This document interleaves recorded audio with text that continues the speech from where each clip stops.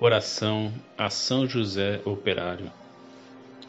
Ó meu santo trabalhador, que em vida fizestes a vontade de Deus através do teu trabalho, abra as portas para que eu possa conseguir o meu emprego.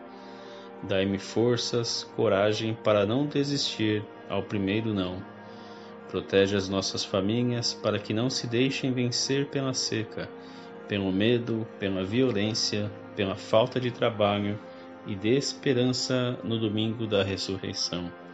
Meu São José, padroeiro dos trabalhadores, não me deixe sem o pão de cada dia e sem a perspectiva de um novo dia para minha família. Prometo, com o dinheiro do meu futuro emprego, ajudar a uma instituição de caridade e divulgar esta devoção. Por Cristo nosso Senhor. Amém. São José Operário, rogai por nós.